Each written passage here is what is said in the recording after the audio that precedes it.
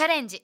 能の舞台に上がってみよう。取り直してちょうと切れば死運にて結ぶをほどく手にあえて払えば。すごい。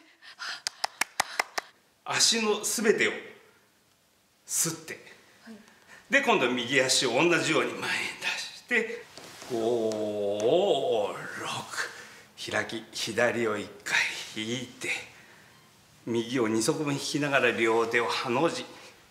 まあ、一番代表的なものですね。空織りと言います。